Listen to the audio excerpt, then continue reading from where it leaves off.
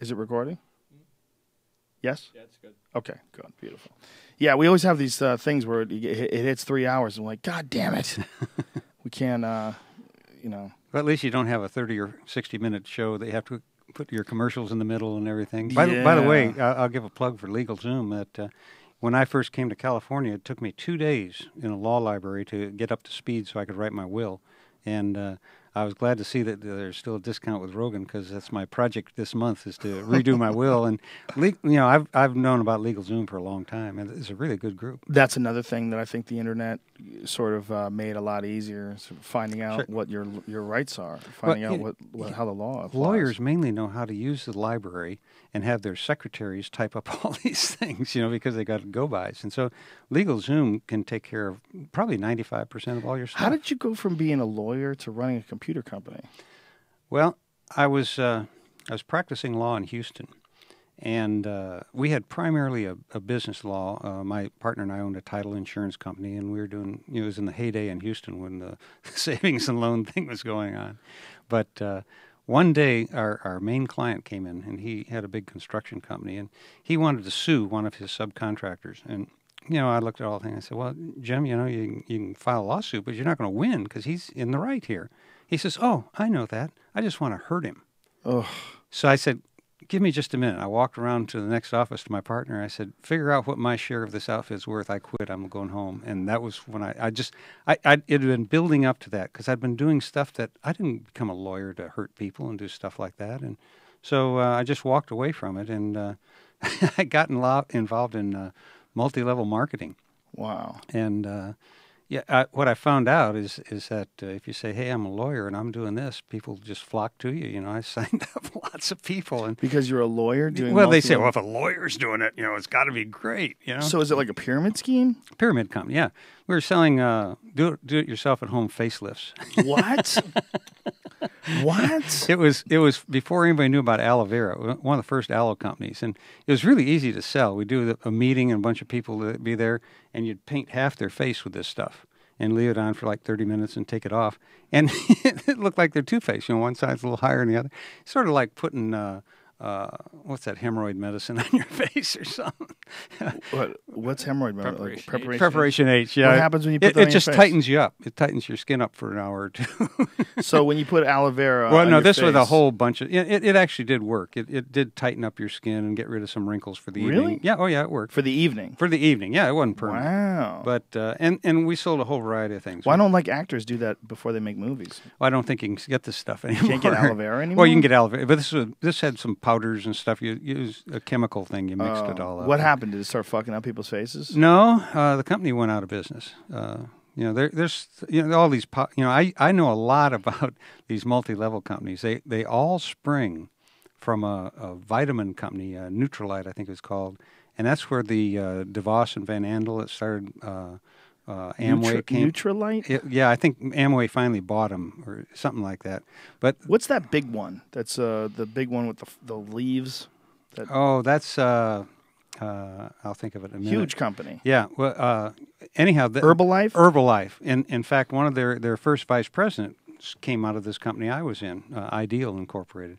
But there was uh, Dare to Be Great and Koscot and uh, one that uh, the California governor campaign. That guy. Anyhow, I used to know a whole lot about this, and they all sprung from the same core of people at one time. They all knew each other, and I got involved in that for a while. And we were selling all kinds of things. And then my partner and I started a jewelry company, and we kind of fell out. And I was into computers, so I started a computer company. It was a pyramid company, and uh, you know, it it was a lot of fun. But uh, it, you know, I finally lost the faith because for a while, I really believed that you could do these things. You know, we had a a woman who was a German refugee that wound up making twenty thousand dollars a month and stuff like that. And so those things did happen, but they were so rare. Finally, uh, you know, I was able to uh, see the light well, it happened after I started taking MDMA. That's when I got out of the motivational business and everything. And uh, The motivational business. That's a slippery business. oh, you know what's is. fascinating to me? People that have never been successful at business but give motivational seminars on how to be successful at business. Yeah, after my computer company crashed, that's what I got into. It's a fascinating thing, isn't it? That that people would. It's sort of like you know, like there's comedy classes that are taught by extremely unfunny people.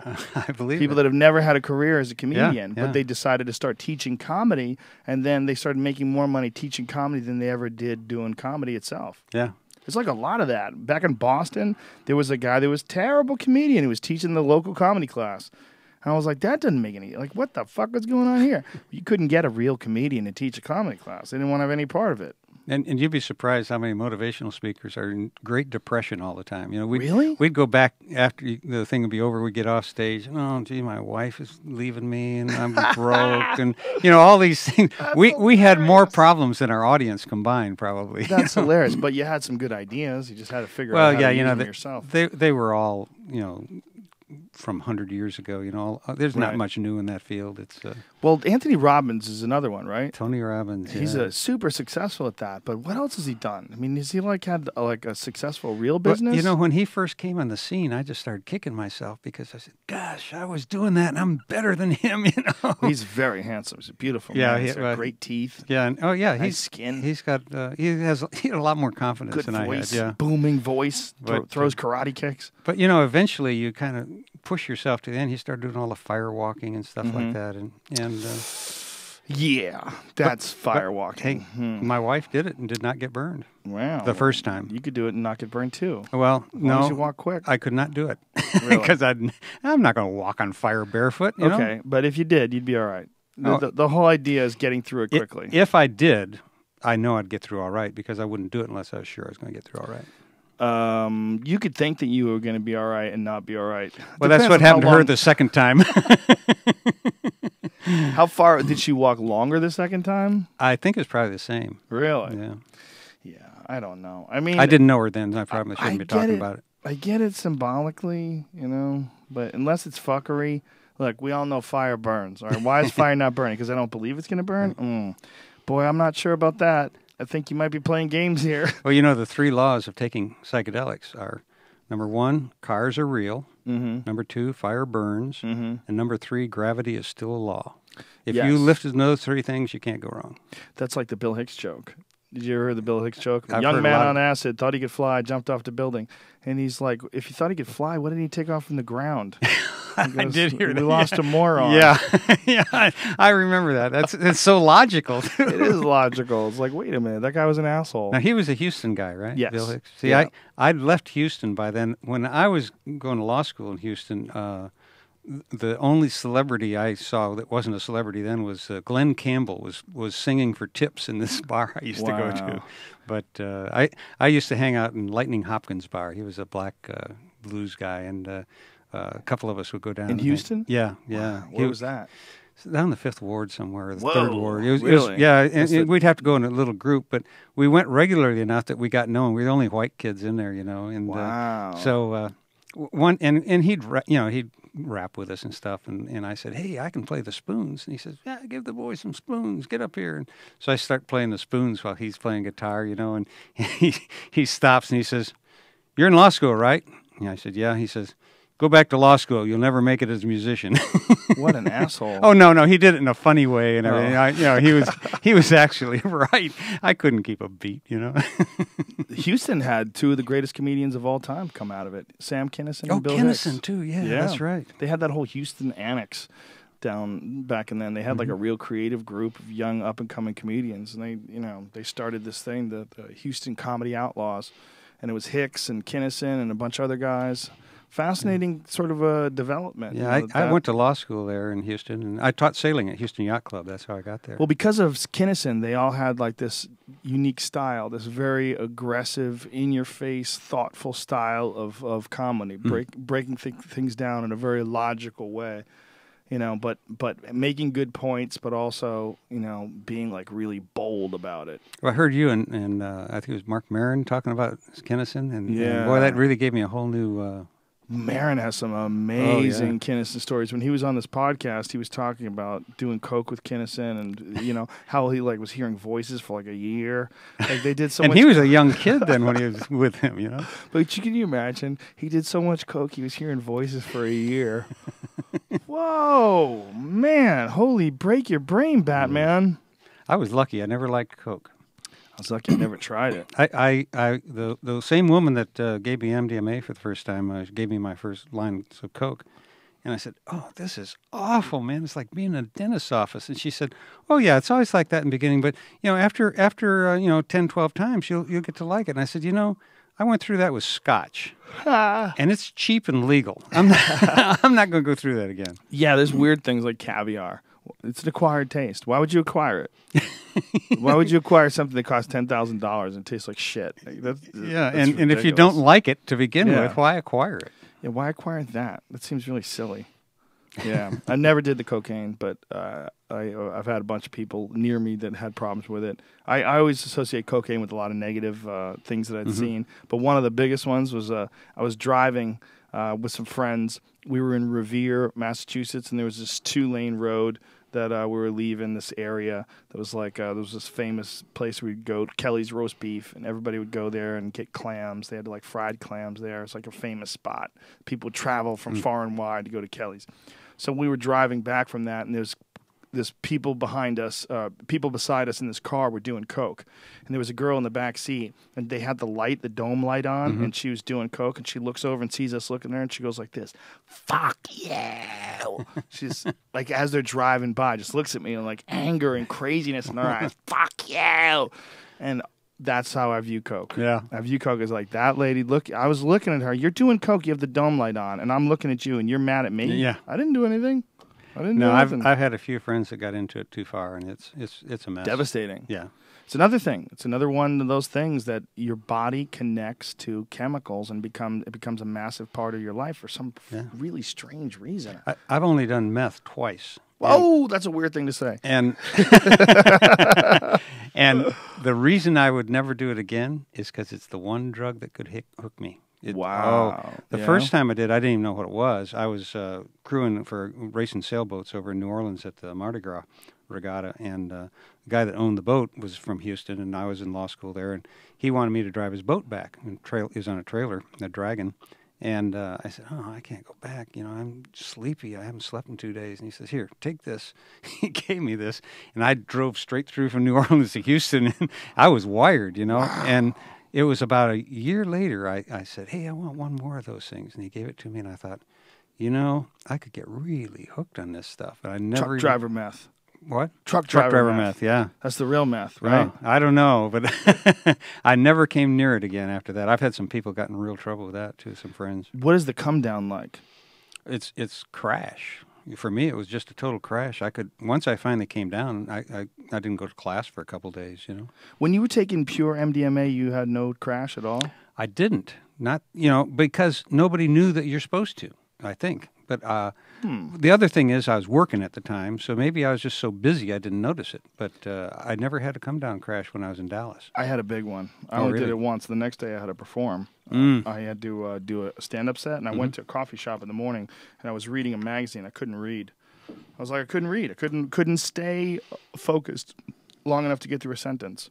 I couldn't get through a paragraph. I couldn't do it. I just I didn't have it in there. I was like, wow, I am stupid as fuck. I was like, what's going on with my brain? I didn't know about 5-HTP. I didn't know about supplementing afterwards to try to re, Right. re, re kickstart your brain's uh, ability to produce serotonin and dopamine. But uh, it didn't didn't sit me well. I enjoyed the experience as far as like what I got out of it, but I also thought this would be very dangerous because that reality of the the the loving, warm eh, ecstasy feeling when you're locked into it is very appealing, and you could want to do that a lot. And then if you wanted to do that a lot, you would experience that more or enjoy it more than you would enjoy regular reality, and then it would. You know, it's sort of like a point of diminishing returns. Oh, like you're it- not getting anything out of you this. build up a tolerance to it too. Yeah, I, yeah. I I did more MDMA than is you know sensible, and because I didn't know what I was doing. See, that was the problem back then. Right. Nobody knew anything about it in Dallas, you know, and we were told, "Oh, it's safe. Don't worry about it." And th- there was just no literature. There was no nothing. How did it get started? Uh, well, the, the I don't know if the story ever really got out, but this guy we, he went by the name Thomas Crown. He was the the he was really the mainstay. Although uh, uh, there's a guy that uh, I'll think of his name in a minute. Everybody thought was the number one guy in Dallas, but he was uh, a good friend of Tim Leary, and he's out here in L.A. And Tim Leary says, "Here, try this," and that's when he found. It. He said, "Oh, this is great. I'm going to take it back." And he he lit up Dallas with the stuff. So, Wow. uh, but uh, I I actually did a motivational speech on MDMA one time Whoa. about two hours after I'd taken it, so I was still pretty much up there. And they'd pay me uh, to do a 30 minute keynote speech at this big corporate thing. And I was an hour into it when they finally caught me off the stage. Ah! I had people on their feet. It was one of the best talks I ever gave. Why they they cut you off? Well, I was only supposed to talk 30 minutes, and after an Oh. hour, they said, you know, that's really enough. wow, that's hilarious. Nobody, there was only one person in the room that knew I was an MDMA. It was one of the women there that, uh, uh, actually, she's one of my distributors. and what did she think? she she couldn't believe I was going to go on. First of all, Wow. and uh, I did a lot of stupid stuff. yeah, well, that sounds like nobody really knew what the hell was going on with No, that stuff. You're just really taking didn't. chances. You were Yeah. like human guinea pigs. Yeah, I in in that little interview I did, I told about the time that, uh, well, I, I took a way excessive dose, What does that mean? Like, what's way excessive? fifteen hundred milligrams. What's a what's an average? Hundred and twenty is what is at what you should take. You should you should What? Hundred and twenty. Yeah. So you took ten times? Yeah. And I still have these two cassette, two 90 minute cassette tapes that I filled up talking that whole time. I've never had the courage to listen to them again. But from that time, for another seven years, I tried MDMA about five years, well, not long after, nothing happened. Five years after, nothing happened. About seven years after, I finally got MDMA to work again. I only did it once a year after that. And I haven't done it now in, I guess, five, six, seven years. But uh, it, it really fried my brain. Now, you know, Oprah put this bad news information out about the holes in the brain thing.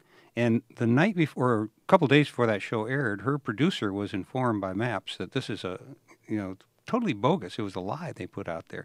There's no holes in the brain. It was a blood flow MRI or something like that. And I, you know, maybe I would be a genius today if I hadn't done that. but it, you know, it didn't really fry my brain. Now, it was so stupid. I had a monster headache for three or four days, and MDMA did not work again for a long, long time, but it didn't kill me, and it didn't, I don't think, put holes in my brain. The holes in the brain thing was what everybody said. That was one of those. Well, Oprah, Oprah did that. You know, she had this MRI of this this woman, and the woman knew that it wasn't a hole in her brain. you know, MAPS uh, got a hold of it, and they they really gave her all the information what this is. It was about blood flow or something, uh, but it was not a hole in her brain. And Oprah's producer knew that going in, and she still let that hit the air. It's Sort of like the Benghazi thing, only it didn't get busted. That's so silly. Why? It's you know why why why? But, but- you know, I, I think they probably were trying to save people. They're probably trying to like scare people off from doing.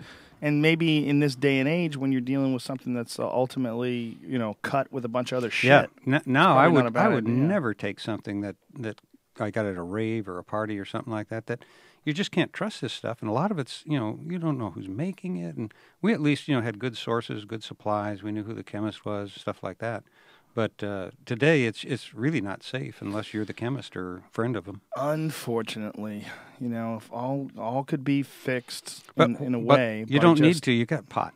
You know, Yeah. Cannabis is really the miracle drug. It you know the plant does so much things for you. The hemp plant does. The cannabis is really a medicinal plant. You know, It that- certainly is, but for PTSD, there's nothing like MDMA. No, MDMA, you know, but see, that would be used with, with a, a doctor who knows his supply and stuff like Mm-hmm. Yeah. that. Now, I'm not saying there's anything wrong with dancing. I've danced all night on it, too. It's really good. How It's- dare you? Oh, it's wonderful.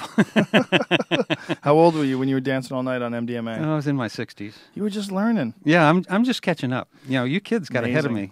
Everybody, they're ahead of us. They're Yeah. ahead of you. They're ahead of me. The kids to, of today, they they're starting from the jump with all the information. They, they just need to be cautious. Be- You know, you Oh, don't, for have to be, sure. don't have to be crazy about these things. It's just so un- unfortunate when we have so many dangerous drugs that are labeled. They're prescription drugs. Their their their their dosage is clearly marked. Mm-hmm. Right. And we know about them, and yet there's these illegal ones that are just floating around out there, and they're they're in commerce. They're in connection. There's money. Money's being exchanged back and forth. People Right. are taking them. There's no way you can ever regulate that unless you make it legal. You can't. You Yeah. can't. Yeah, it, it, it's legal, and then you get some kind of a structure to take care of it. But, But then again, the argument is like, oh, well, that's going to be legal. You're going to make meth legal too? Like, ooh, start with cannabis. yeah. Well, Yeah, and see what happens. You know that. Uh, Are you, are you down for legal trucker meth? If trucker meth was legal, well, yeah, because you could regulate it, yeah, but still, and it, you'd still- regulate it and say, you know, who needs it? Nobody.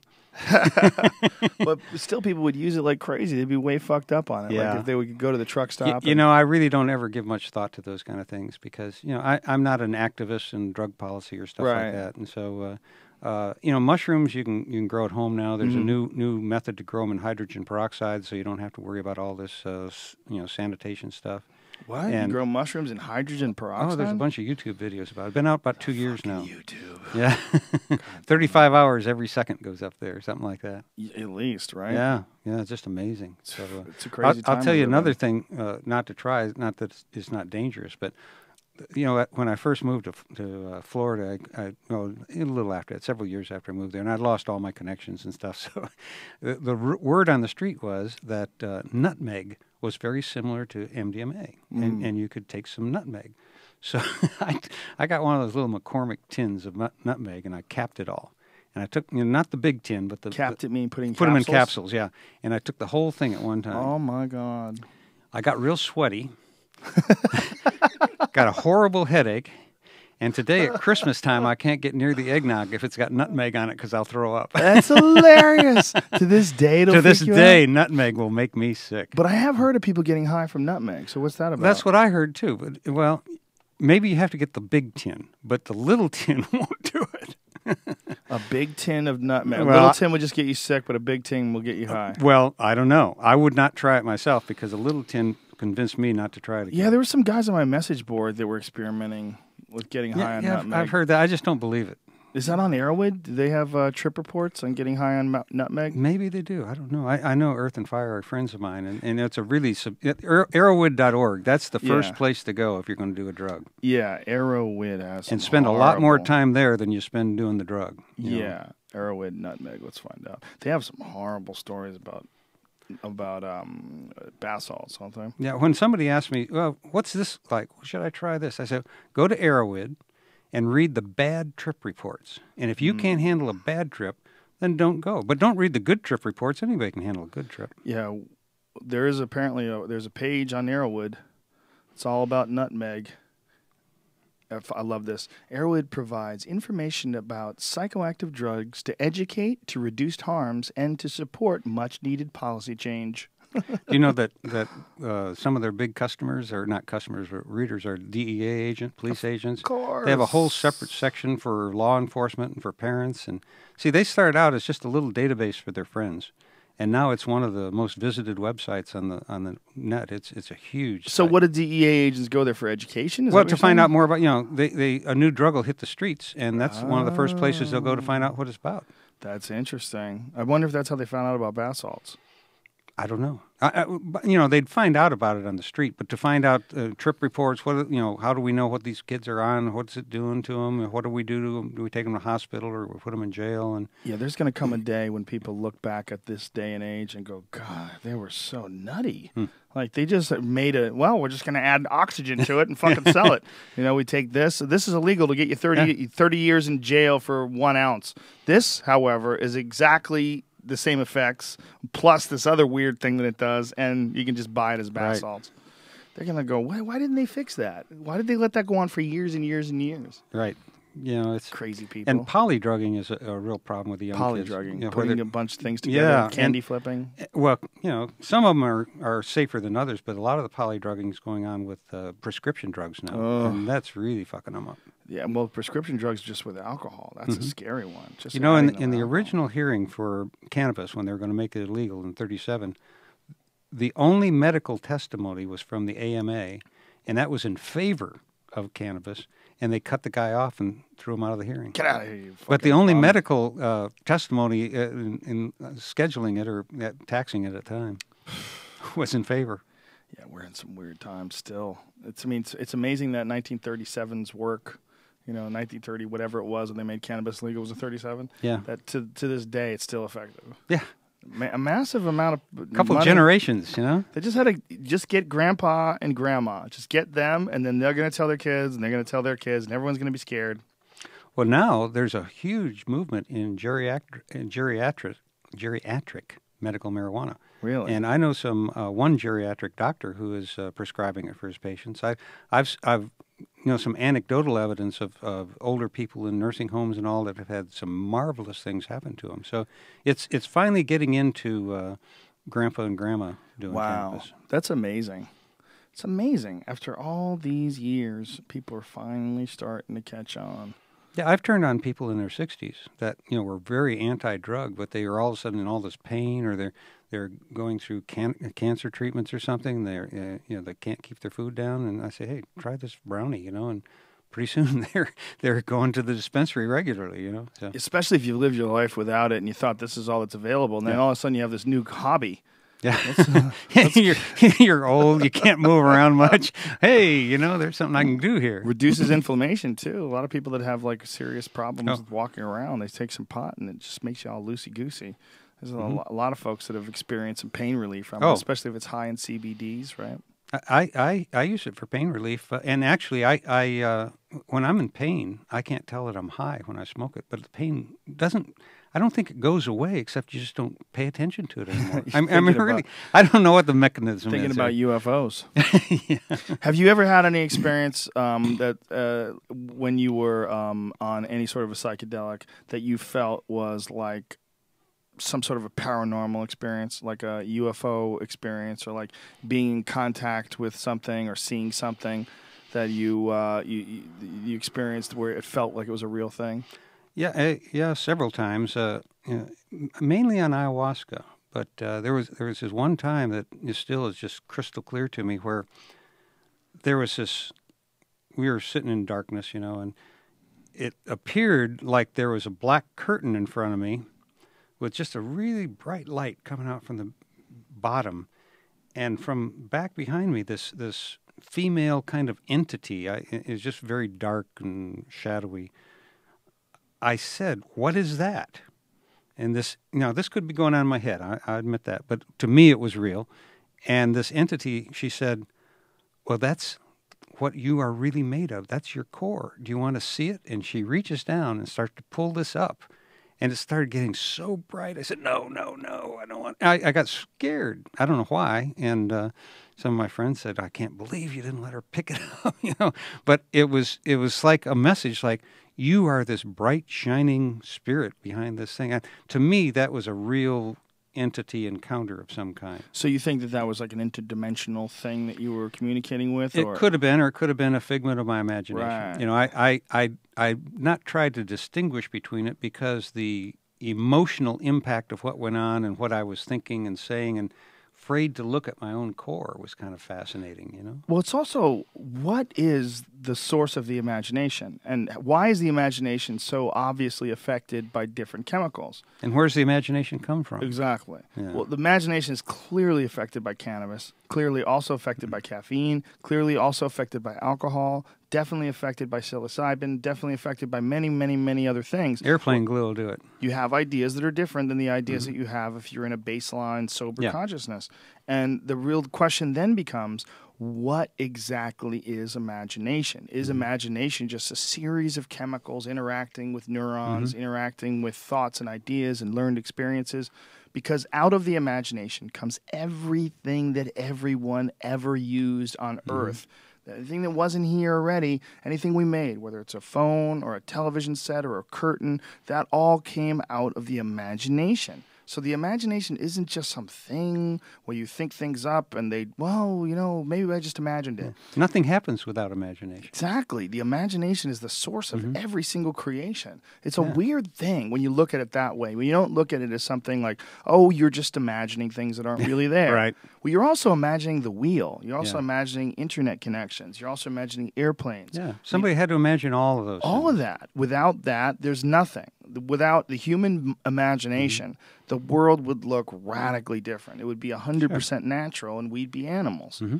The imagination is the one step that takes us from animal into animal that changes its environment radically and starts to transcend itself, starts to symbiotically attach Yeah. itself to its own creations, which coincidentally came out of the imagination. The imagination created technology that like the glasses you're wearing or the watch I'm wearing or any any of the Yeah. things we're talking through these microphones. All of that is technology created through the imagination. Right. Shoes are Yeah. really tech, you know. So when you see something and you say, "Well, maybe it was my imagination," I'm not exactly sure what that means. But see, I don't really care whether it's my Mm-hmm. imagination or some other multidimensional entity. What I focus on, what am I learning? What what am I feeling? First of all, what's my emotional state? And then what am I going to take away from this? What am I going to learn? And uh, recently, a, a podcast I put out, McKenna says something to the effect of, "What makes us think that that the entire cosmos can be understood using the neural network of a primate?" He says, "We're here to observe and appreciate." And I like that, you know, rather than try to figure out black or uh, dark matter and all that. That's great. I'm glad people are working on it, but I'm not going to worry about it too much. I'm I'm uh, going to appreciate and and uh, you know look at the wonder of the world. Just Yeah. go- look at nature. It's just amazing, Amazing. what's going on. Just look at all the different varieties of insects. Oh, They're just freaky, weird, alien creatures that we just take for granted because they've always been here. yeah. Well, Wasps, spiders. spiders. We couldn't live without Oh, yeah. spiders, you Yeah. know? or bees. or bees. Yeah, and Yeah. that's getting to be a problem. It certainly is. Yeah. And there's a lot of theories about that. But one of the more fascinating ones to me is that they are absolutely convinced that whether or not they can survive it or not, cell phone signals are damaging bees. Got to be. It's it's fucking with the way they and communicate people, high powered lines and cell phone towers, Yeah. you don't want to live near any of those. Yeah. Well, I think that uh, high power lines has there been a direct correlation ever established between them and sicknesses? between some high powered lines, not Like a but type? The, the real super uh, high frequency power lines. Yeah, there there have been. In fact, uh, I know I know somebody who died of cancer quite young, who lived under those for a long time. And now that was anecdotal, but I think there has been there have been some studies now showing because people in certain neighborhoods have sued and, and things like that. I've been around them before where you feel them. yeah, yeah, you can feel that. Weird. Fe- you, you hear the. Mm-hmm. Yeah. You're standing next to And you can kind of feel a it's like- buzz around you. well, you just realize like this is enough energy to kill everyone you've ever met ever instantly, and it's just shooting through these wire lines. Well, we don't know what we're doing to ourselves with all these electronic signals. You know, Yeah. you can't get away from it. There's Wi-Fi everywhere now. There's Yeah. cell phones. There's TV. There's radio. Think of the information that's just in this room that we can't see. Right. But with the right equipment, we can tune into. Well, that's where it's going to be really weird when that equipment is actually inside your brain itself. Yeah. That's going to be very, very, very, very strange. It's getting there too. I think. So close. Yeah. You know, they gave the person the first ticket for wearing Google Glass I while saw, driving. I saw that, you know, and I think that was a valid issue of a ticket too. I don't want people driving and looking at Google at the same time or Yeah. the net. I don't like people talking on their cell phone unless they have hands free. My question is, how can they prove that it's active? Because if you just have that thing on your eyes, I don't it's think you can. I, I think they can beat that ticket, but uh, I, I think it sends a message. Yeah, that cops don't like technology. That- well, they like the technology And- they have. It's also the other message is they like writing tickets. yeah. Oh, yeah. They want to write as many as they can, and uh, they have to fill quotas. Filling quotas is one of the most disgusting things anybody ever got away with. The idea that Yeah. there has to be a certain amount of uh, crimes that are committed in a month. Huh. Like, what if everybody agreed to only go the speed limit for like a year? What would happen? Would the police officers just explode? I mean, what would they do if we all agreed? That, that would be an interesting uh, project in some small town if we could get everybody to do it. If then nobody has any money that's coming in from Yeah. from speeding tickets, what do they do? Because they rely on it. You know, they rely on it for a source of income. Well, there's a couple little towns on the way to Burning Man. That's that's most of their income is. but isn't that tickets. insane? I mean, look, it's one thing if you want to ticket someone because you want to give them an incentive to slow down to make people safer. Mm-hmm. That's one thing. But as soon as you start developing like you have a standard amount of money you have to make every month from Mm-hmm. pe- you're just saying that people never improve you're just saying that people will never get better at following Right. the law never get better at being safer and just the fact that you bank on that you have a quota that's disgusting But there's there were known speed traps in, in Texas. You know that you wouldn't go through this town because it was 15 miles an hour and 16 and get you a ticket. Connecticut's horrible Is it? because Connecticut between Connecticut and Boston, there's a lot of stretches where it's 55 fucking miles an hour. and not And 56. lakes. Huh? and there's nothing there. It's just straight line, and you just want to gun it. You want to get to New York, Yeah. but between New York and Boston, it's like three and a half hours at 55 miles an hour. We're just going, Jesus Christ! train, yeah. And everywhere you look, some asshole disguises a tree pointing radar at you. so stupid. And now, in uh, Jamie put up a picture just a moment ago, but now in uh, in Colorado, they're developing this new technology to tell if someone's smoking pot enough. Look at these things. S- tell if someone's smoking pot enough inside of a building for it to, the smell to leak outside. So they've You're developed kidding. this instrument that Ah. measures the amount of cannabis smell in the air on the street, and they're going to start to give people tickets for these things. Yeah, that'll help vaporizer sales. Well, this is in Colorado. I- where I made pot legal. This is so fucking stupid. Those are the forty percent that didn't vote for it. it may be that, or it may just be the fact that people are just fucking out of control, and they're just weeds blowing everywhere, like you know, like tumbleweed. You know, like the smell of weed just wafting through entire communities, and people are catching contact ties, and they've had enough. But you know, it used to be you'd put your pot in a, in coffee, and the dogs couldn't smell it for the coffee. Right. Now they've trained the dogs to look for the coffee as well. I don't know if this is true, but a friend of mine told me that oh, what he's been doing is buying uh, uh, bear piss and wolf piss and sprinkling it around his tar- tires and in his trunk. Because he says when a drug dog smells it, they go crazy. They forget about drugs totally, and they want to go attack a bear. You know. Whoa! So I don't know if the cops do when well, they? I, don't, I don't know. This probably is made up, but it's a great story. I wouldn't think it would be made up. I mean, dogs instinctively freak out when they smell wolves, yeah, right? yeah. And so uh, it beats coffee.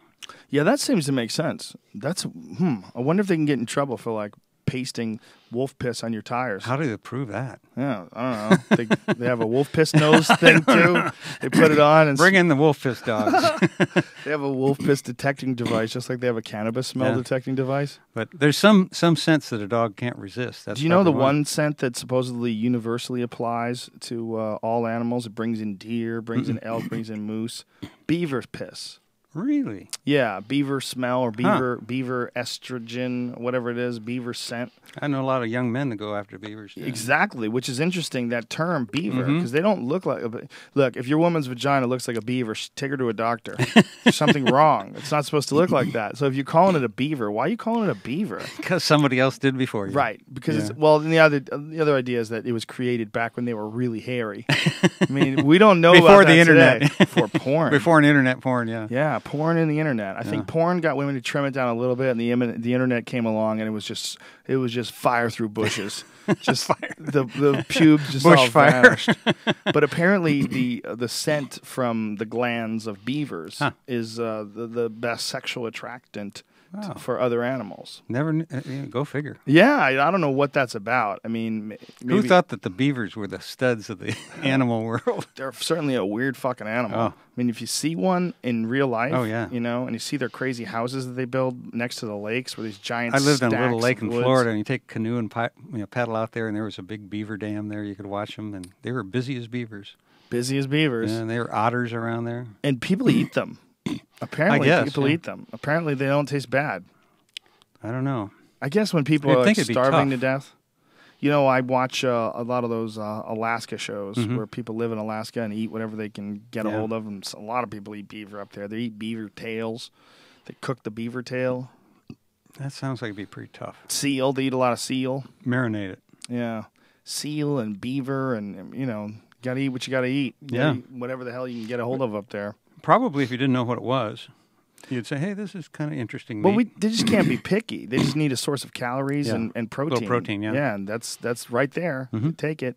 You know, and apparently seal oil is very important for them because it's very high in calories and the cold that you deal with. Mhm. Apparently, that's one of the the best, the worst um, uh, losses of c- calorics or of calories is your body burning off uh, calories to, Ah. to keep itself warm.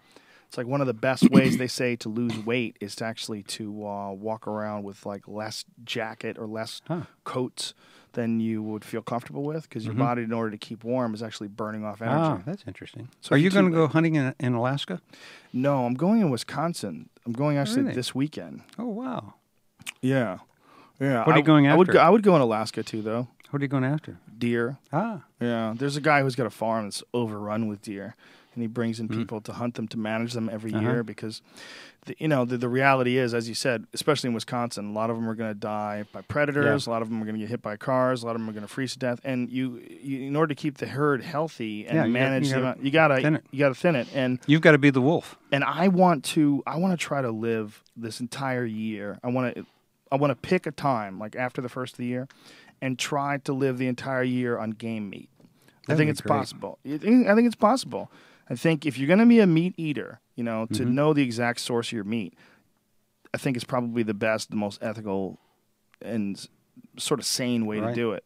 The, the disconnect between us and our food, whether like I love growing food in a garden and then Mm-hmm. cooking and eating the vegetables that you grow. I mean, I think it's a beautiful thing. It's a, it's an interesting Right. connection that you have between where your food actually comes from. I have chickens now, and I get Mm-hmm. Oh, I get fresh eggs from the chickens, and I'm trying to get closer and closer to my food. If that makes any sense. Well, we eat mainly organic, or almost all organic, but mainly vegetables. We eat chicken maybe twice a month, and we have a friend that slaughters his uh, his pig once a year, and, and we know how it's grown and raised and everything. But uh, mainly vegetarians. But it, all of our food, most of it, comes within uh, 25 to 40 miles of our house. You know, That's great. we belong to one of those CSAs, community supported agriculture, and and I do most of the cooking, and so uh, it's really fun. You get this box each week, and then you got to figure out what you're going to do with stuff, and uh, That's really yeah, cool. it's a lot of fun. I would love that. I think I, I've talked to my friends about that. Everyone's so goddamn busy; we never get anything done. But the idea of getting together, everybody buying in on a plot Mm-hmm. of land, and then hiring someone to run that plot of land and produce food for this group of people. Like, say, get twenty people together and say, "Well, this is our grocery bill for the year." If we can manage a, a plot of land and buy a plot of land together, everybody pay for one twentieth of it or whatever, and then hire someone to take care of everything and hire a few people. There's got to be some CSAs up here. Uh, There must be. I don't know. You know, there's them. several of them in San Diego County, and, and we've belonged to, to this one for quite a few years now. And they supply uh, most of the local organic stores. Mm-hmm. And so what we're getting is, are the to, the tomatoes that are uh, well, they're heirloom. They're not perfect. They're in. We're getting food from a farm like it would come, and not everything's the same size and shape and all like that. It's real but food. It's, yeah, it's real food. It's picked that day or maybe the afternoon before, and it's Yeah. it's real good fresh food. But that way, we don't have to get a, our own group together. Now, we've gotten a bunch of people involved in this, and some people don't like pomegranates or persimmons or whatever comes sometimes in the basket, and so we swap around with each other and Mm-hmm. stuff. And uh, so we usually eat everything, so I get all the throwaways from everybody. My idea had a bit of doomsday to it. My idea was Right. like if the shit hits the fan. Well, you're to into know where your food survival stuff, from. and, and you know you read all that too. And, and when I was younger, I was into that too. But now that I'm, I, you know, my dad, my brother, and my mentor all died at 63, so I'm eight years past my expiration date. So, so you I'm feel like it's all free time. Sure, I'm just enjoying. no, I exercise, I eat well, but you know, I it's it's uh, I'm not stressed about that. I see the Google kids are are working on longevity uh, things now, and and I just commented to a friend yesterday. I said, "You- you ever notice that? All of this longevity work is done by people in their 30s and 40s, but by the time you're 70s or 80s, you say, "Oh no, I, I don't really need that. I've had a lot of fun. I want to have a little bit more fun." But you know, if you gave me, you said, "Here's a pill, it'll give you another hundred years," I'd have to think long and hard about that. Really? Yeah. Oh, yeah. Because you would worry about deterioration, or because No. you're not having fun. Uh, well, because uh, there's a lot of pain in watching your friends go through what they're going to have to go through. Everybody's going to go through love affairs that are broken and tragedies and stuff like that. I just don't want to watch any more of that. You know, I, Wow. I, I uh, Love affairs. That's the big one that pushed you over the edge. No, it's I'm thinking of my grandkids now. Oh, their their hearts broken and Oh, everything. that's funny. That's like we were talking about the Radiolab thing earlier about the guy who went through this horrible circumcision process of becoming a, a, a runner, wouldn't want his sons to go through it. Yeah. You don't want your fa- your kids to go through heartbreak. Right. Now, I my, my children have already gone through heartbreak. Now it's my grandkids, and It's I important. I told this one of my grandchildren. I said, you know, if I'm not around when some young man breaks your heart, I will come back and haunt him. Why? and she she remembers that. well, the guy, it's, why is it his fault he doesn't want to be around her anymore? well, see, I'm I I have four five grandchildren. Four are girls. Mm-hmm. If it wasn't for that, I'd have a little problem with women. But I, I have a new sensitivity to women. oh, I have a very good sensitivity to women too, and I have three daughters. But my point is that a lot of heartbreak comes from the fact that people just decide they don't want to be with you anymore, Right. and it doesn't work out right. And people think that when someone leaves them, that they're taking something away from them. They feel like this deep sense of loss, and they're connected to the idea. Part of growing as a person is realizing you're going to be okay. And and here's where MDMA would be really cool if it was legal, because Mm. when you and your partner get to the point, say, you know, if it's bad for one person, it's going to be bad for both of them, even if you're not talking about it. So if you sat down, got together one evening, just the two of you, did MDMA and talked it out. Now I know from personal experience that you know my marriage, my uh, previous marriage, was really getting rocky when I found MDMA. And we stayed together another six, seven years. is that good?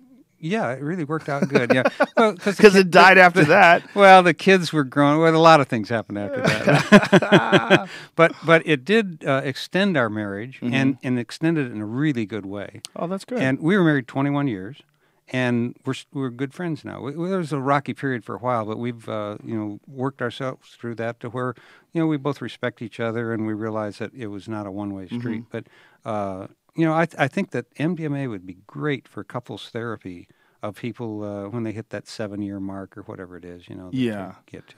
Well, I think there's a lot of things that people hold in and they repress in relationships Mm-hmm. and don't communicate about. And then sometimes a psychedelic journey together can open those ideas up and you start talking about things and you find out that there's been a misunderstanding all along or that it could have been a lack Mm-hmm. of communication, that you could have worked things out much better, much easier a long time ago, or that you're both feeling the same way, that you both want to move on. You just don't know how to do it. And, you know, I've had one experience where I, I went on for months. Something was building up, and finally, you know, I got it out. And she said, "Huh, that's no big deal," you know. And That's it's something that had been a big deal to me for a long time. And it turned out, if I'd just been talking about it, I would have had a month of, bliss instead of hell. You know, so uh, communication is the key. And and there are some things that help you communicate. Pot helps you communicate. Yeah, and don't you think that those things and those heartaches and those, that's part of what makes you a person? It's Oh, yeah. You have to get that information. It's feedback. Now, I wouldn't want to not have any of my heartbreaks and stuff You like just that because they were. I just don't want. I don't want to see it happen to somebody. I understand, and I, I agree to a certain extent, but I think it's very important that everybody goes through a certain amount of it just to oh, understand what Well, it's about. Well, you don't have a choice. You're going to go through it anyway. Look, I've had friends that have gone through it where I know they, they became better people because of it. I have a Oh. friend, friend who went through a devastating breakup, and now he laughs about the idea of being stuck with that woman. You know, But- back then he thought there was no way he could live without her, and I was like, Yeah, it doesn't matter what happens to you, how big the tragedy is. That after some enough time passes, eventually that becomes one of your funniest stories. Oh, I doubt it. Oh no, Jesus that, Christ! Some of these things What if your were- kid was eaten by a wolf in Oh front well, of you? you know that's what a little talking No, about? that's that's. I'm thinking What about. if you fucking saw your family die in a plane crash? okay, I'm What- thinking things happen to me. Oh, fucking Christ! But you know, if you think about some things that happened, seem to be a tragedy at the time, and usually they're not between people. You know, car breaks. I'm just talking about like breakups. I'm talking about like getting fired. I'm talking about things that are not really devastating. They getting fired is a good thing. I've had that happen. Sometimes. that, that can turn into a good thing. It, yeah, it can be a changing experience, and change, I think, oftentimes opens up the door for good. Yeah. You know, change opens up the door for good because it gives you a newfound focus. You know, Yeah, if you it- survive it, you're going to be stronger. yeah, every time I've like had something happen to me where I had to rethink things, that's always been a good thing. Oh yeah. And when you get fired, you're like, all right. What are we doing here? And you all of a sudden you get this new motivation. And I realize objectively this would be a good thing for my grandkids when it happens to them. I just don't want to go through it. That's part about being a grandpa. I, I mean, know. isn't that what they always say that the strictest parents were always like the most lenient grandparents? I, I wasn't a strict parent, well, even more so then. You're even more lenient. But uh, Yeah, the idea, especially when you're an older person and you've experienced so much pain and hardship, and you see the innocence of children, is mm-hmm. how how beautiful it is that they they don't know any racism yet, they don't know any homophobia yet, they don't know any blind, Right. unobjective hate, they don't know they they don't know the disillusion of government, mm-hmm. they don't know all this. right. They don't know any of this yet. They don't know, like you know, re- rebe- you know, the, the the the rebellion against taxing, and it's mm-hmm. like all the different aspects of society that you know bring people to this hysterical freak out point where you're like, this fucking thing is, I'm mad as hell, and I'm not gonna take it anymore. Like I love network, right? I love that. Yeah, they don't have that. No. they have you know, you stepped on my toe. They have uh, that's my toy. You know, But relatively speaking, these are big problems for them too. I mean, all the, the little kid problems that, that uh, we just have to learn how to work our way through 'em. my three-year-old has a way bigger problem with my five-year-old taking one of her toys than I have with anything in life. my five-year-old takes her toy and she's like, "That's mine!" She screams. Tears are flying out of her face. That never happens to me. So for her, that's a devastating apocalypse. it's a huge apocalypse problem. of toys. yeah. it really is. It's relative, relatively Yeah. speaking, and you have to address it that way. You have to sort of respect the fact that they actually are freaking out. And although it doesn't seem normal to you, mm-hmm. you're a grown adult. right. But for a three-year-old, this is a fucking Now you've real got to you've tough got to moment. acknowledge that this is a real serious thing for them, you know, and so you've got to treat them like adults. My parents didn't. Shut up. You know, that's how I grew up. Shut up. Shut your mouth. I'll break both your legs. That's the type of shit I heard. I was I was really lucky. I, I grew up like in an Ozzie and Harriet family. It was school that Really? was my problem, yeah. But my I couldn't have asked for better parents. They were That's just amazing. incredible. Yeah, and we were Look how you turned out. Ecstasy dealer in Dallas. drug dealer. I go- sends him to college and he deals uh, drugs. you know. hosting a drug podcast. the guy's crazy. What is this book that you wrote? The Spirit of the Internet. Uh, that's that's uh, I wrote that in 2000 actually. It's it's one of the first books that compares the internet to a psychedelic drug. Speculations on the evolution of gl- global, Global consciousness. consciousness, Wow, look at you, you fresh-faced little Yeah, that's a long time ago. That's uh, 2000 you yeah, when you wrote this? That's in 2000. Yeah. 13 years ago. Yeah. Isn't that amazing I, that that was 13 was the last ago? nonfiction I wrote. I've got a fiction book up now that's uh, first of a quartet I'm writing, but uh, uh, I, I went to fiction because it's so much more fun. Do you remember? So did Graham Hancock. Did you do you remember when people thought that the, the world was going to end in 2000? Oh yeah, Y2K.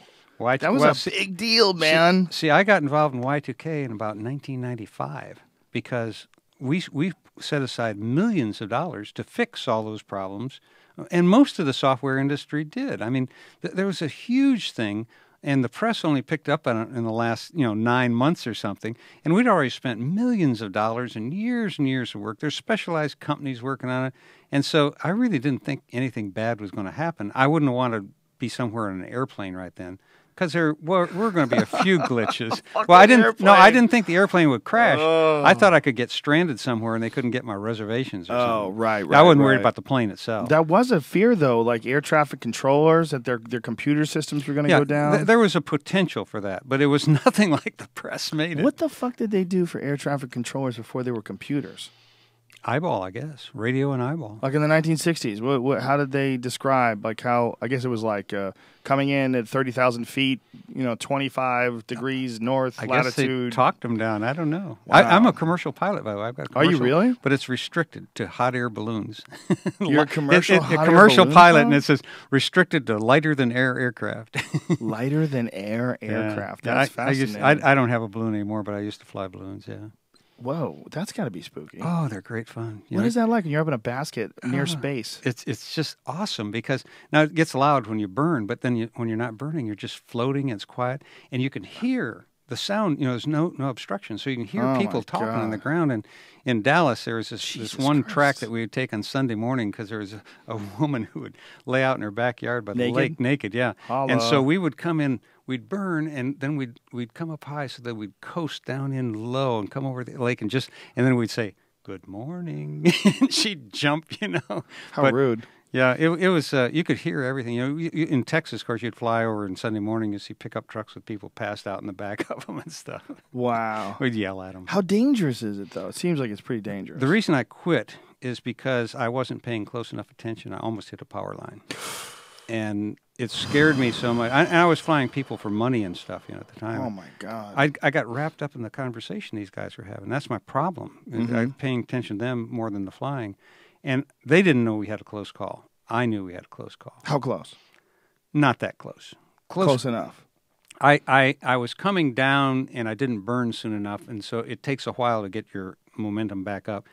And uh, you know, I cleared it by 50 feet, but you know, I should have cleared it by 500 feet or something like. And I was coming in for a landing, I guess. And anyhow, it, it scared the hell out of me, and I said, you know, that's it. How many people have died hitting power lines? Oh, a lot- that's mainly what's happened to people in balloons. You know, that, uh, Not not not all that many compared to the number of people flying. You know, it's safer than regular aircraft. now, are you harnessed in when you're up there? Oh no, Oh Jesus! No, I used to sit on the edge of the basket, you know, and burn and. Really? Oh yeah. Oh fucking a man! What if a crazy rebel wind came along and knocked you off? Well, you wouldn't have launched.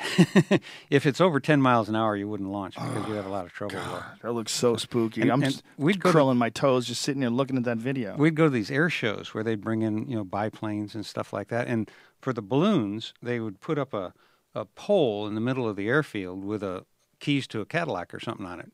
And you had to go five miles away, anywhere in the radius of five miles away, and launch. And whoever could grab the keys got the balloon. But- wow! What if they collide into each other? Well, re- well, you'd kind of bounce off, but uh, you ha- if you're at the same altitude at least. But you, the rules of the road, so you're not supposed to do that. But nobody in any of the things I ever flew in ever got the keys. But you have a bean bag too, so you'd throw that, and whoever got closest would win money or something like that. But wow! it's great fun, you know. That my my ex-wife took me on a balloon ride for my 40th birthday, and on the way back, I said, "Well." How much do these things cost? How do you get started? And the next morning, I was taking lessons. Yeah, I, I had a lot of money then. How much does it cost to get a balloon? Uh, balloon's about thirty-five thousand. It was back when 35,000. when I bought it. Yeah. And how what, how do you fold that bitch up once you're done flying? Oh, they pack into a, a basket that's uh, oh maybe a, a third of the size of this table. wow! And, and, and but then you have your basket too, so you have a, a trailer behind your. And do you have a parachute up there or oh, anything Oh, in case no. the shit hits the fan? Oh no, uh-uh. Nothing, no. dude. I, I had ballsy. I had one guy wanted to pay me to take him up in a parachute, but I, and he wanted to jump out, but I didn't Oh want to do it because once once the guy jumps out, you get so much lighter, and if you're not care if you shoot up too fast, you'll collapse the envelope. you know, Oh, that that doesn't happen very often, but they're really safe. They're really safe. They're a lot of fun, and uh, Wow, that sounds scary. that that was How a- do you lower yourself? do you have to lower it naturally? well the, the there's a hole in the top, uh huh. and you have a, a line that goes through it, a rope. And you pull it and bleed air out of the top and let it go. Oh, And then when you're when you're actually landing, the top is held in by Velcro, and so except for the little flap that's open. When you're you're just ready to land, you rip that. It's called pull the top out. You pull the top out, and then it'll deflate and land down. Oh, Sometimes your landings are a little rough. You know, I've had landings where I dragged for 50 or 100 yards, where I bounced up and all. You know that that uh, conditions sometimes make it tough. And in in North Texas at the time, you had to be really. You know, you can you're allowed to land anywhere when you're landing. You know, the FAA lets you because you if you if you out of fuel. And and there was this one farm up in North Texas, up uh, by Cisco, I think it was, and and whenever the balloons would come in landing, you could see dust coming on these gravel roads from two directions. One would be this farmer with his pickup and his shotgun, and the other would be the sheriff to come to protect you because the farmer hated you landing on their lawn. Uh, You know, when ballooning started in France, they they would carry a bottle of champagne to give to the farmer when they landed, as hey, thank you for letting us land here. Here's the champagne. When ballooning started in the United States, the balloonists never gave it to the landowner. They drank it themselves. You know, Uh. champagne and propane, breakfast of balloonists. how rude. That's why they ruined the whole thing. Yeah, Look at this. That, that looks like Albuquerque. Yeah, There's one in Colorado too, in Colorado Springs we went to. yeah. The woman that uh, taught me to balloon uh, moved to Colorado Springs to. Yeah, we went there to see it, but there was bad weather, so they never launched. Yeah, it. See, you got to do it.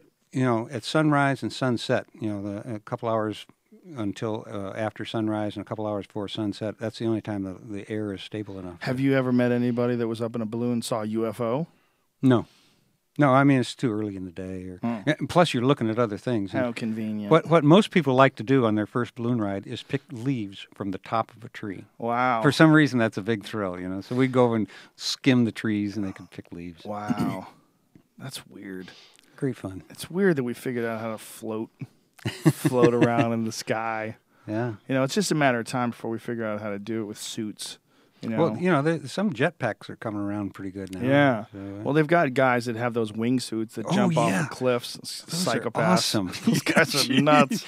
oh, I can Oh, hardly, I can hardly watch those videos. It's sometimes. so hard for me to watch. Oh, There's one where a guy crashes. It's really hard to watch. yeah, that one I haven't seen. But it's just a matter of time before they figure out something with a uh, like a wing. Yeah, well, it- wings on it. Those You can fly th- that technology is going to grow. I think. Yeah. It just everything's gonna grow. You know, I mean, if they have a jetpack now, and they do, Mhm. you know, I watched one when I was in Denver. Uh, there was uh, my friend Willie has a KLG. What is it? KBPI. KBPI.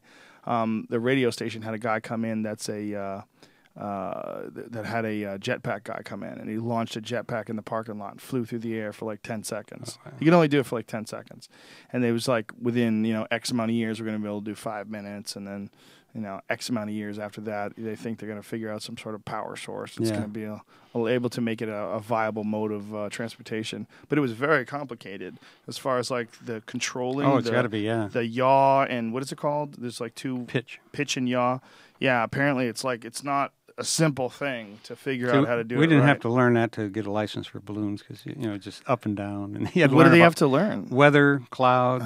uh, you had to learn, learn about procedures with the FAA because you have to call the FAA in the morning, get a weather report and all, and you tell them where you're going to launch, and so they know some balloons are going to be in the area. How much different is that than a blimp? Could you can you target a blimp? I've never been in a blimp, Could but you pilot one with your license? oh no, No, it's lighter than air. well. Hmm. Maybe I don't know anybody Oh. crazy enough to let me do it, but I Hmm. guess I guess that would be legal. it's lighter than aircraft, yeah. Do you have to renew that license, or is that once you get it, you got it? That's the, that's the crazy thing. you you don't ever have to renew it, but you have to have a check flight every year. I think with a, somebody else who's a, a commercial pilot. So all you have to do is get a friend, go up, take a ride with you, and, and you're current again. I'm not current. What was that one you just put up, Jamie? Lady Gaga in a dress that flies. Lady Gaga, the actual Lady Gaga? Yeah, there's a guy. It's like remote controlled.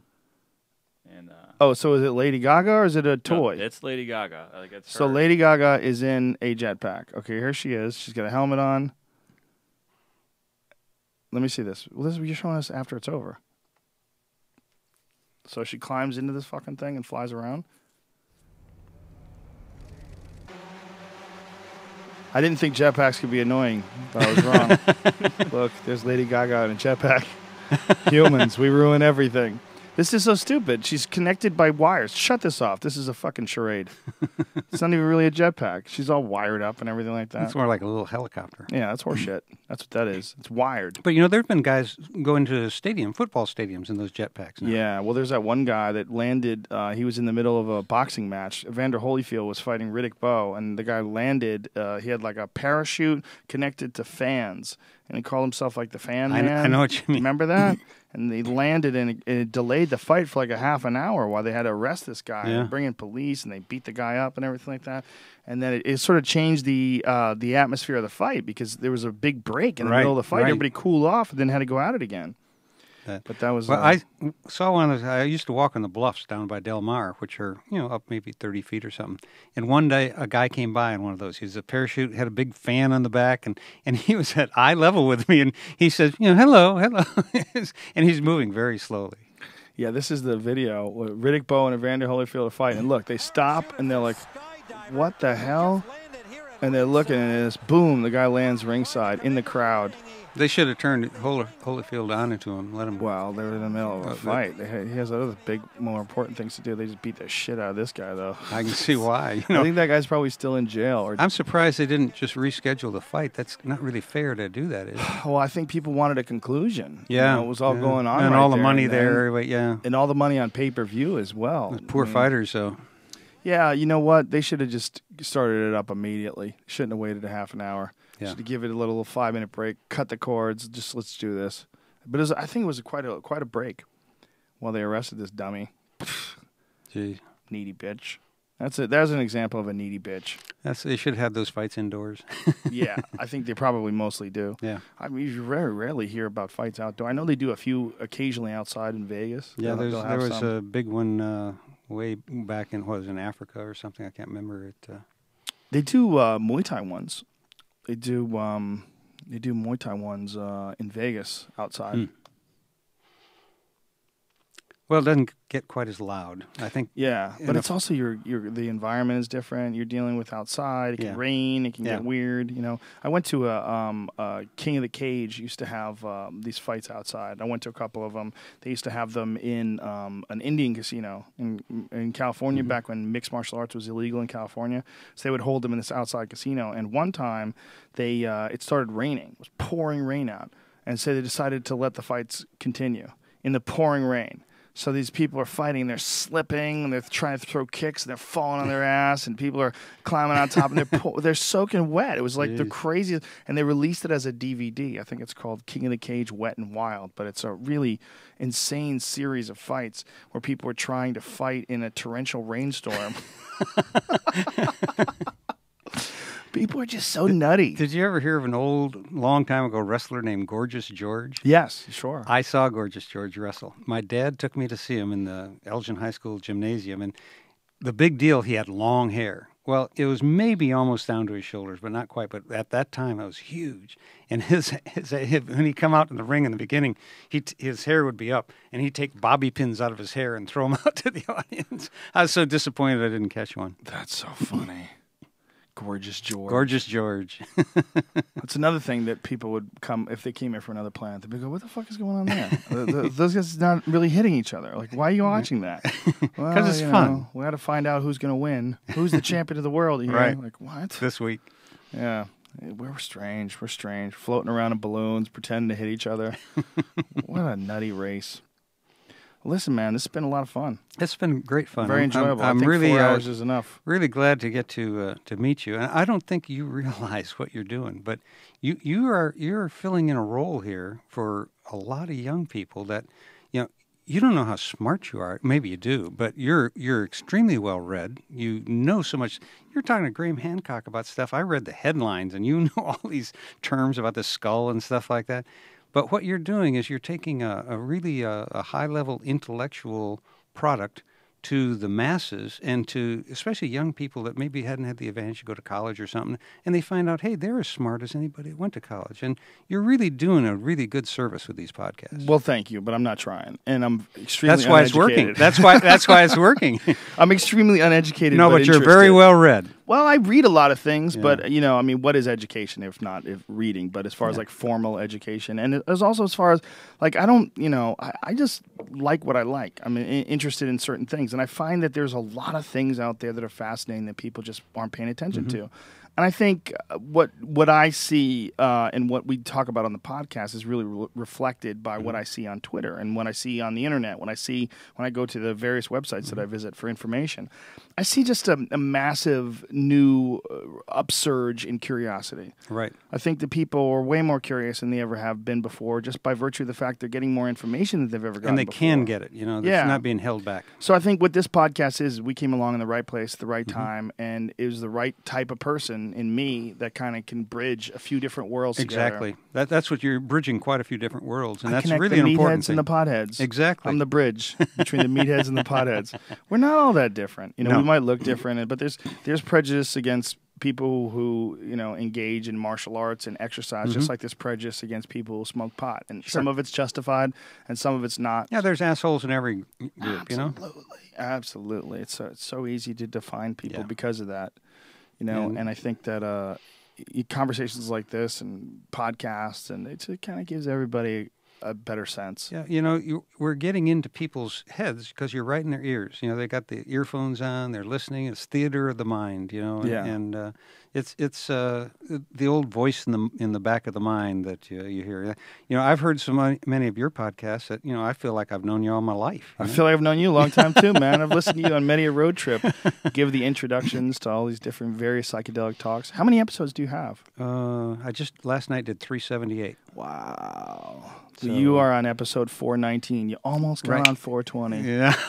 oh, You know what? We were going to do a special 420 episode, but now I'm like, well, that's so stupid. I'm so tired of that whole 420 thing. It's just like, come Yeah, on. What? It's just a number. The podcasts are the pod. I mean, we, we it, and I'm kind of hypocritical because we always like make a big deal of each 100 that we hit, but 420 just seems stupid. It Mm-hmm. Yeah. seems like a tired thing. Like 420, dude. like, come on, stop. Yeah, I'm I'm thinking about for 400 what I've been working on. It's not too far along yet, but I've I've cut out little sound bites of McKenna, you know, 30 to 60 second sound bites, and I have about 100 of them from 100 different you know talks he gave, and I'm going to try to spring string them together in a cut up and try to make it a ah. single cohesive type thing.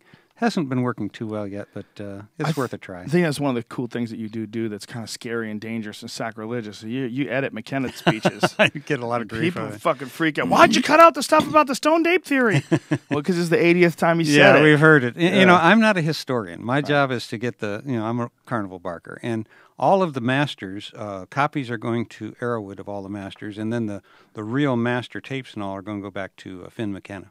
Beautiful. So, that's uh, awesome. yeah, and, And they're out there now. They're out there. You can get a hold of them. yeah, I've got about another hundred McKenna talks nobody's heard yet. in- including me. Hundred. Yeah, Oh my me. God! Wow. So I'm I'm good for another year or so. And plus, we're doing the Palenque Norte talks at Burning Man. That gets to be another 30 or 40 every year. Wow. You changed your name because of Burning Man? Yeah, That's I'd, ridiculous. I'd uh, well, That's when you know you get too high when you It- change your name. My friend Aubrey did that. He used to be Chris, and he I- became Aubrey after I'd been working up to it, and, and my my Ah. sister-in-law who died had called me Lorenzo all the time. so Oh, it was a family name, and Okay. and and then I at Burning Man, this damn parrot cl- climbs up on my arm, and I said, "What's that parrot's name?" He says, "Lorenzo." And I said, "Oh, that's my name too." And that was the day I changed it. Wow, that's hilarious. It was really hard for my wife and family, but they, they finally got there. oh, so the Twitter is psychedelic lozo L O Z O. So uh, follow on Twitter, and the podcast is the Psychedelic Salon. It is available for free. It's on iTunes, and can people donate if they want to? yeah, that's that's how it's kept alive. I How can't, they can't afford it. They, you know, I've got a, a donate button on the psychedelicsalon.us has a donate button. I'm putting Dot us. Dot us. Dot .us, yeah. Com, Where- comnet.org or us, yeah. Okay, beautiful. And, and it all goes to the same place. And then uh, I'm going to put a Bitcoin thing up there too. So- Beautiful. And they can go to lorenzohagerty.com and it has links to a little 15 minute video of my life and then the, the MDMA story in Dallas is there and all the all the links are at lorenzohagerty.com. Outstanding. And the book, The Spirit of the Internet, is back when he was Lawrence. So that's Lawrence Yeah. Hagerty. I'm looking for Lorenzo. It's not out there. the Spirit of the Internet by Lawrence Hagerty. And All the right. Genesis Generation is my novel that's just out. Beautiful. All on, on Kindle.